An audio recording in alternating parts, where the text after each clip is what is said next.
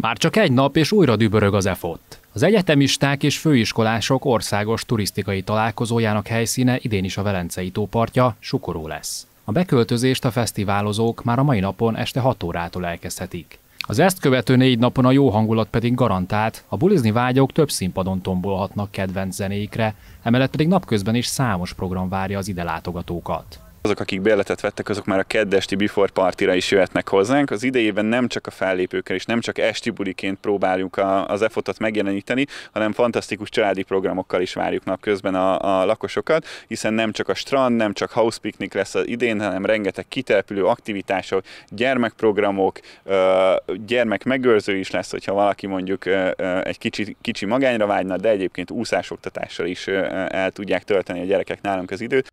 Az eseménynek minden évben van egy kiemelt házigazdája, amely kiemelt feladata, hogy a fesztivál értékrendjét fejlessze.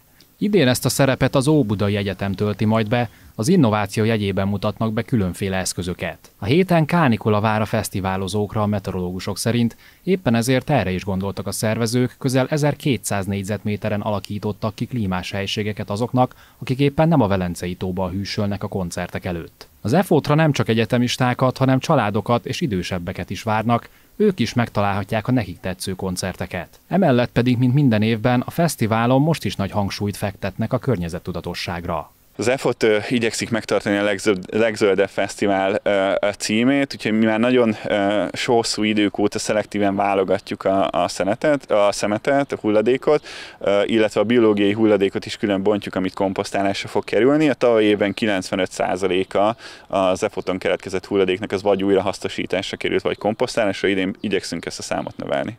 A terület megközelíthető autóval, vonattal is, valamint a parkolóból és a vasútállomásról fesztiválbuszok szállítják a fesztiválozókat, erről részletes információ az esemény honlapján található.